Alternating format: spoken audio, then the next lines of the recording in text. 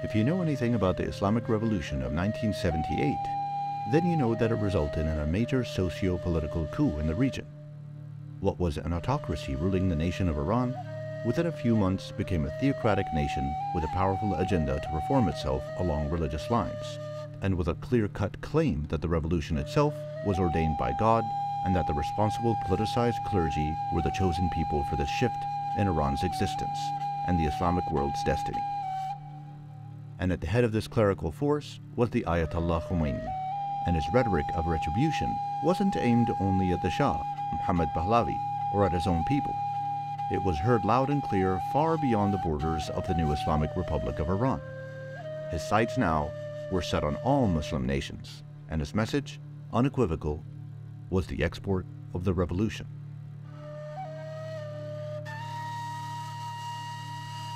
Khomeini's message drove fear into the hearts and minds of all regional leaders. Kings, princes, and sultans assimilated the cleric's targeted and promissory words with horror. Was it their turn next? Would their fate be that of the Shah? Secular Arab nations were also targets of Iran's newly revealed intentions, those who Khomeini accused of succumbing to the advances of both the capitalist and communist Satan alike. They were infidels who had abandoned their Islamic values in the name of advancement and prosperity. But what was to be done? What would counter this newly emerged regional power that had just announced its ideological and expansionist intentions? But what were these governments, who were mostly Sunni, to do?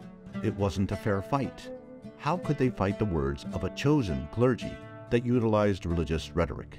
The default method of following conventional politics and diplomacy was like bringing a knife to a gunfight.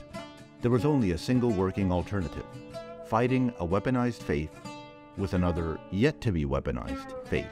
Consequently, Sunni theological politicization became rampant in the Middle East to counterbalance the narrative of the new Shiite power. Within months of the Islamic Revolution in Iran, governments began a calculated campaign set on instilling fear into their populations. A society that balanced modernization with adherence of the pillars of Islam was a wonderful thing, but it wouldn't get the job done. No, that wouldn't do. What was needed was a conservatist overhaul that was founded on faith, its powers of beliefs, and characterized by relentless and devout passion. Education shifted towards doctrinal reform and curricula an army of clergy were mobilized to preach the negatives of looking outside of faith as the path towards fulfillment and deliverance. Overnight, men's beards lengthened while their clothing shortened. Women's place in society became veiled in more ways than one. What took nations decades to build and achieve towards their version of modernity receded towards orthodoxy within a single year. While confronting a Shiite regional power, nations in parallel looked within their borders and at their own Shiite populations. Where were their allegiances? Who would they serve? Their nation's interests? Or those of this new sectarian influence? Loyalties were questioned. And even with real proof that these nations could rely on their Shiite populations, a chasm was created that distanced the Muslim sects of a nation away from each other a large contingent of Sunni society would no longer feel the same way about their Shiite national brethren. At the times, the Cold War between the USA and the USSR was still at its heights, but with the Islamic Revolution in Iran, a new version of a Cold War was about to erupt. Iran was now a country looking towards exporting its version of Islamic dogma and governance, not only in the Middle East, but far beyond.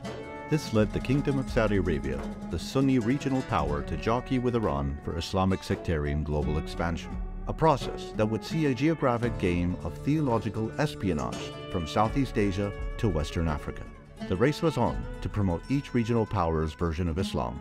Fundamentalism was no longer a system found only in the heart of the Middle East. No, fundamentalist Islam would become a global reality.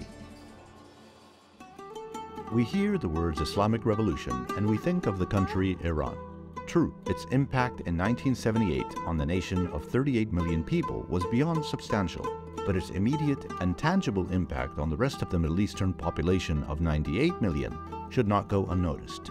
Muslim Arabs' lives changed in an instant, without any war, changed strictly with the sudden potential invasion of ideas and belief systems. Changed due to the subsequent fearful and reactionary impositions forced upon them by their nations and governments. Was the change for the better, or was it for the worse?